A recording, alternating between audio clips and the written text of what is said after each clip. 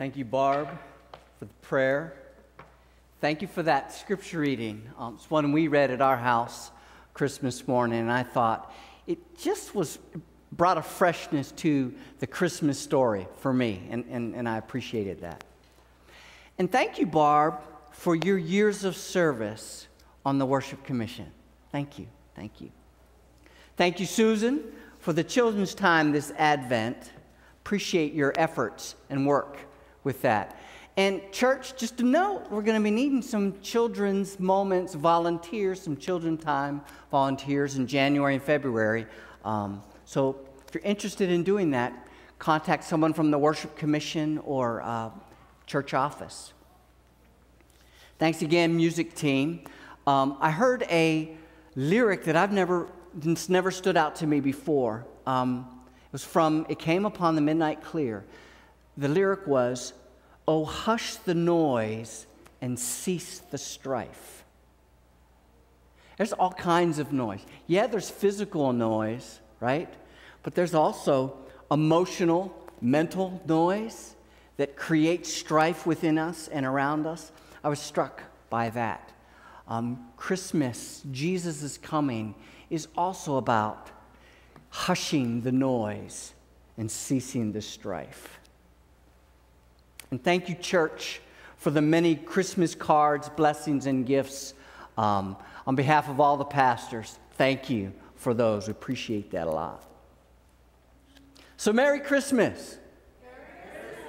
I hope you were able to have some meaningful times during this Christmas. Um, I love this Christmas card that I received many years ago, uh, and it's just been strong, and I invite you to hear it this morning as well. It's as Jesus is writing it. Jesus says, If you look for me at Christmas, you won't need a special star. Jesus says, I'm no longer just in Bethlehem, I'm right here where you are. You may not be aware of me amid the celebrations. You'll have to look beyond the stores and all the decorations. But if you take a moment from your list of things to do and listen to your heart, you'll find I'm waiting there for you. Jesus says, You're the one I want to be with. You're the reason that I came. And you'll find me in the stillness as I'm whispering your name.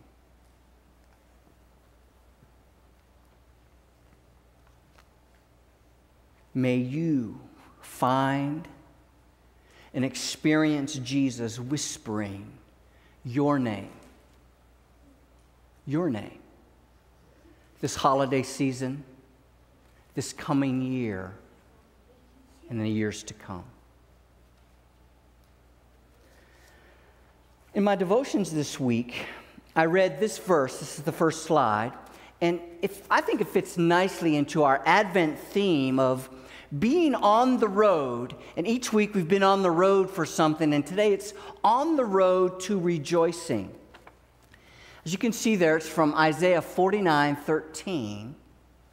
And here's the whole verse it reads Sing for joy, O heavens, and exult, O earth. Break forth, O mountains, into singing. Why? For the Lord has comforted his people and will have compassion on his suffering ones. That's us. Anybody else have any suffering this past year? Mm-hmm. Rejoice. We can draw comfort and strength from the Lord. And as I like to do, when I find a particular verse that's strong for me, I'll, I'll write it on a card and I'll date it. And I'll reflect on this later. And so I have a, a stack of cards. And a month or so from now, I'll read this one again and I'll be reminded of the sense and, and, and the comfort and the strength I've gotten from that verse. May you find scriptures this year that speak to you, that you can draw, write down, and then draw strength from throughout the whole year, not just the Christmas season. So I'm thinking of the Luke 2 text with the shepherds interacting with the angels. And I'm struck by this next slide, and this is the question I think of. What do you think of the myriad of emotion and action in the Luke 2 8 through 20 text? It's a text that's often read. We heard it this morning differently, but also Christmas Eve service. Some of you would have heard it there. Others may have read it, family Christmas, uh, Christmases. And to me, this text, it speaks of real life. We have a lot of different emotions, choices, and actions in our own lives, and I see the shepherds having to deal with some of those things. You know, there's a couple verses here I want to bring out. But you know, the shepherds didn't have to respond in the way they did. They could have just said, Oh, that was cool, and gone on with their lives. But they chose to fully embrace what was going on and allow their lives to be transformed. So I love the emotion here in verses 9 and 10. So if you have your Bibles or your devices, and if you want to look with me, I invite that. It's Luke 2, verses 9 and 10. Then an angel of the Lord sto- stood before them, the shepherds. And the glory of the Lord shone round them, and the shepherds were terrified. Yeah, you'd be terrified too if you were going to work, doing your normal farming activity, and boom, these angels showed up. So I'm struck by that emotion, that fear. There are things we have that make us terrified, right? We have those things. So that's one way I relate to the shepherds here. But I love verse 10. But the angel said to them, Do not be afraid. Don't be afraid for I am bringing you good news of great joy for all. Can you imagine the shepherds, the emotions, the feelings that's going on with them? I see, sense the fear in this text, but I also hear and feel the hope proclaimed by God's messenger here. So I'm thinking, so what? How does that apply to my life or our lives? So for me, it challenges me to be honest about my own fears, to name them, and to ask myself, will I allow God to speak into my fears? These shepherds were terrified, and I believe they allowed the angels, these messengers, to speak into their fears. Can you do that? Can you name your own fears? And then hear the Lord say, Do not fear, have joy. Do not fear, have joy. Can you rejoice even as you face fear or anxiety or unknowns? Unknowns bring me fear and anxiety. I like to control things as much as I can. Anybody else? Okay, thank you. so for me, to name that is helpful for me, and will I allow God's message, God's messenger, to speak into that? So I have some fears. I'm not going to give them all to you this morning. I have some fears of how Hesston Mennonite Church will function this coming year and beyond. I have some fears about that, and I suspect some of you do as well. I have some fears. How will Mennonite Church USA function? And what happens with South Central Conference? I have some fears about that, some unknowns. And can I hear in both those things the Spirit say, heavenly messenger say, don't fear, have joy. I have fears for my family or friendships. I have fear for my limits. There's, there's only so much I can do with family, with community, with church. Can I hear the Spirit say, Don't be afraid? Have joy on this road. I want to hear and keep hearing the Lord say, Do not fear. Have joy. And I invite you there as well. So, the next slide I had this morning, and the question is Can you imagine the wonder and amazement of the scene in verses 13 and 14? One of the keys about reading the scriptures is not just reading it the same way all the time. It's important sometimes to read the scriptures and think differently. That's why different versions are so helpful sometimes. It helps you think about it differently. So may you hear this differently. May you differently. Verse 13 reads And suddenly there was with the angel a multitude of the heavenly host that's a mind blower right there. And they were praising God and saying or singing, Glory to God in the highest heaven, and on earth, peace among those whom he favors. So imagine you're sitting out there with your sheep, with your buddies, smelling the sheep, hearing the sheep, and the angel shows up. You're terrified of that. And then this whole heavenly multitude comes and starts singing. That's not a quiet deal. Can you imagine a hundred Maries singing? Boom! That's loud. And she was even masked this morning, right? And maybe they were singing the Messiah song, right? Wouldn't that be amazing? Think differently. Can you imagine the wonder? I bet in your life you can recall some wonderful worship experiences, right? Right? I remember singing 606, now called what? The dedication hymn? That's what we're calling it now.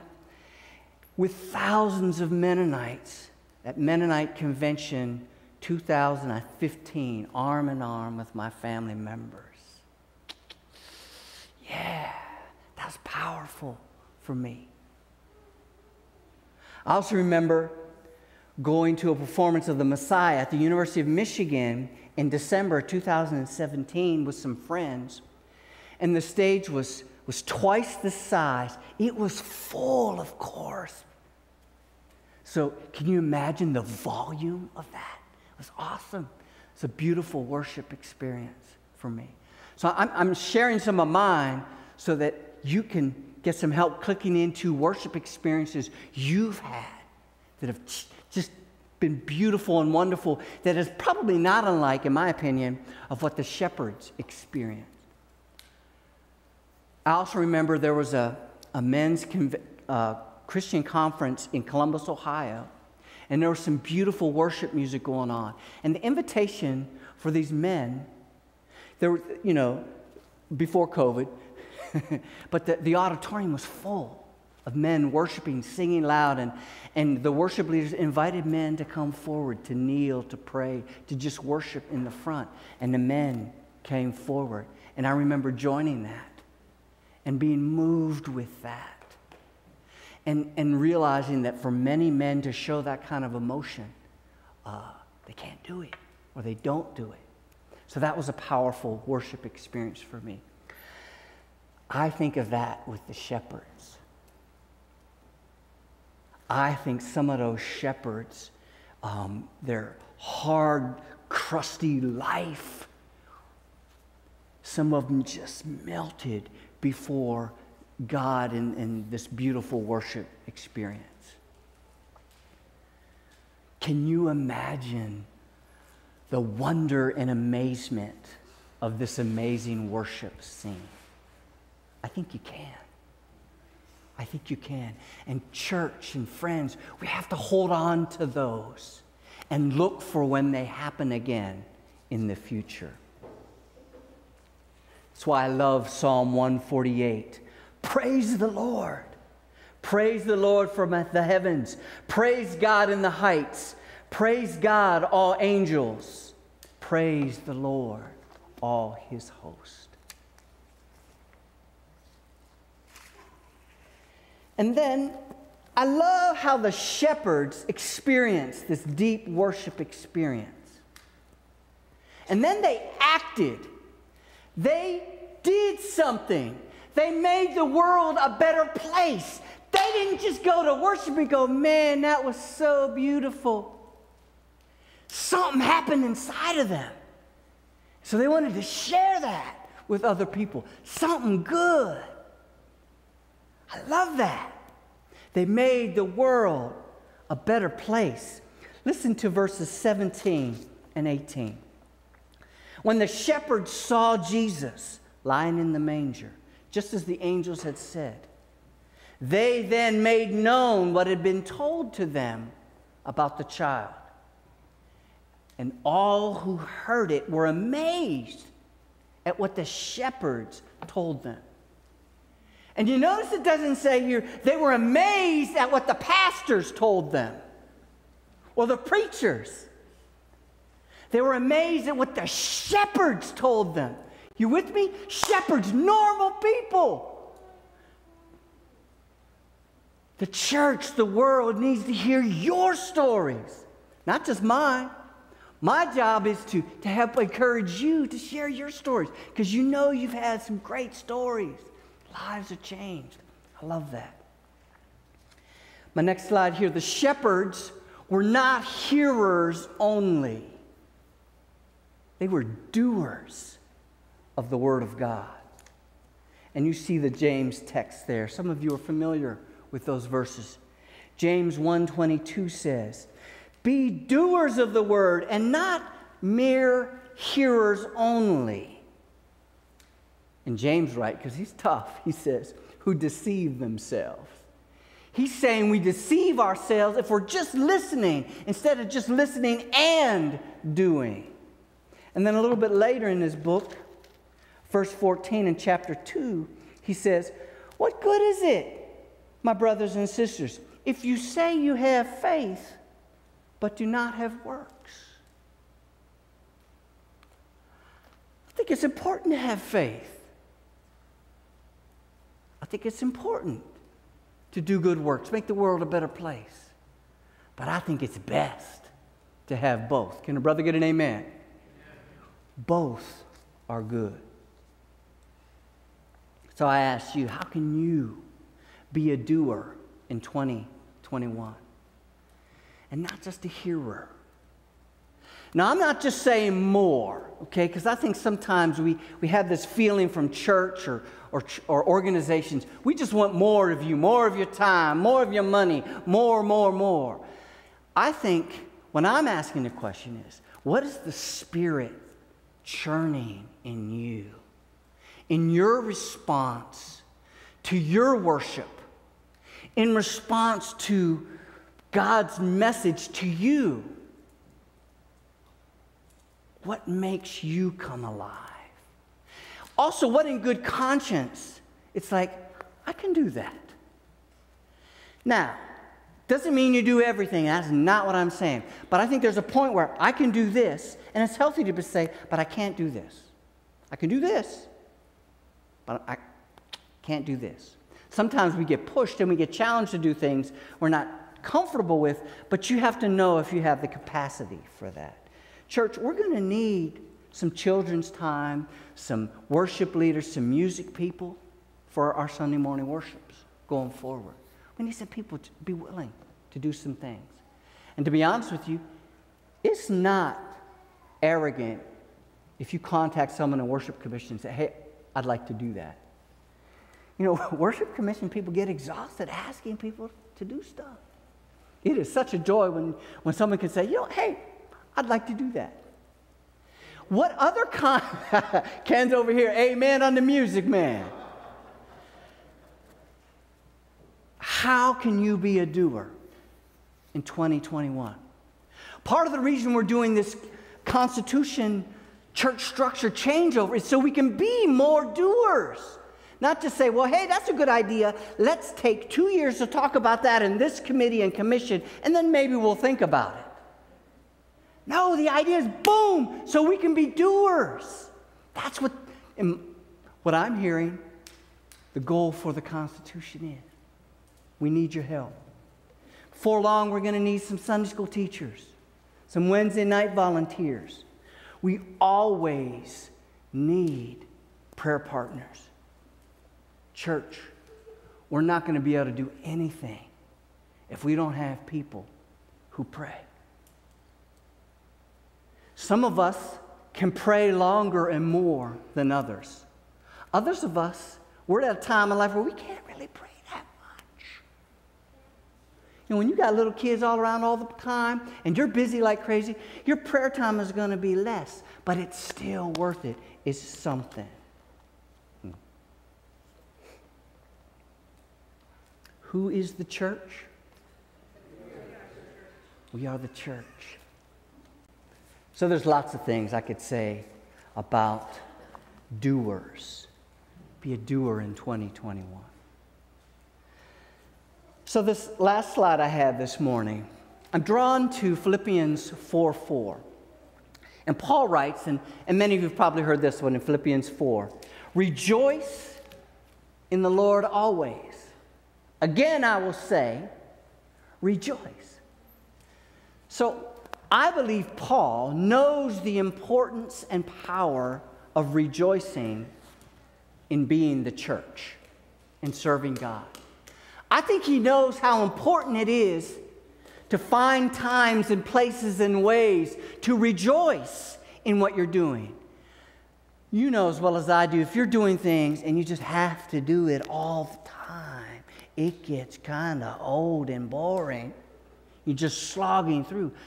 But when you have moments of inspiration and rejoicing, that makes you come alive, right? We need that. And in this Philippians 4 passage, immediately before verse 4, and if you want to turn there or look at it later, Philippians 4, verse 2, Paul's writing, and he writes, I urge Euodia and I urge Syntyche to be of this. Those are real names in the Bible, and I'm not pronouncing them right, okay? And, you know, just a little preacher's trick. If you're ever reading scripture aloud and you don't know how to pronounce the name, just go. Just say something, keep it moving, you know? Because who really knows how to say them? I mean, there's a few people who do, and then you listen to them. So these two ladies, Paul says, be of the same mind in the Lord. So he's writing to them, he's saying, be united. Maybe he's saying, quit being negative. Quit being critical, because listen to what else he writes here. He says, I urge you to be the same mind in the Lord. And he writes to the church, Help these women, for they have struggled beside me in the work of the gospel, together with Clement and the rest of my co workers. And then immediately after that, Paul says, Rejoice in the Lord always. And again, I say rejoice. So I'm connecting the struggle of the work with these women, with these other co workers. And then Paul says, rejoice. Because I think rejoicing helps us deal with struggle and difficulty. And then I think Paul writes some other very helpful words in Philippians that I think can help us as we move into the new year. I think they can help us personally. I also think they can help us as a church. He writes in verse 6 Don't worry about anything. In everything, pray. Offer it up to God. Don't worry, pray. How many would agree that if we did that a little bit more this year, 2021 would be better than 2020? I do. It doesn't say here, worry about everything and then pray some, you know? I, I confess, I worry a lot too. So I think that's a good word. He also says in verse 7 And the peace of God, which surpasses all understanding or logic or intellect, he says, this peace can guard your hearts and minds in Christ Jesus. I think Paul is saying, let peace guard your heart and let peace guide you. Who's Jesus? What's one of Jesus' names? The what? The Prince of Peace. And then verse 8, Paul writes, Finally, beloved, whatever's true, whatever's honorable, whatever's just, whatever is pure, and he goes on like that, whatever is worthy of praise, think about these things. I think Paul's saying, focus on healthy stuff. That helps us be able to rejoice always. Let's pray. Lord God, thank you for the shepherds,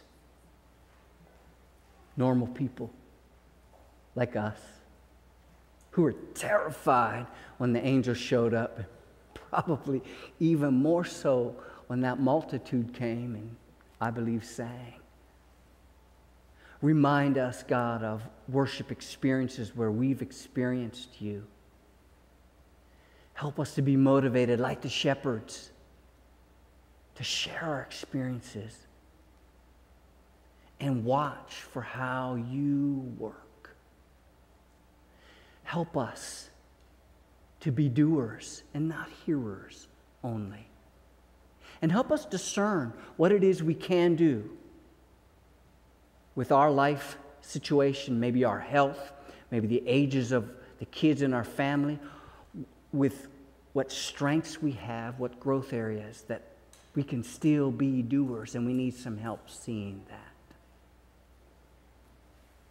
And Lord, thank you for reminders in Scripture to rejoice on the road, to pray and worry less, to allow your peace to guide us and guard us. We need your help, Lord. Bless these sisters and brothers here sisters and brothers live streaming, brothers and sisters who will tune in on the recording. Pray in Jesus' name. And everybody said, Amen.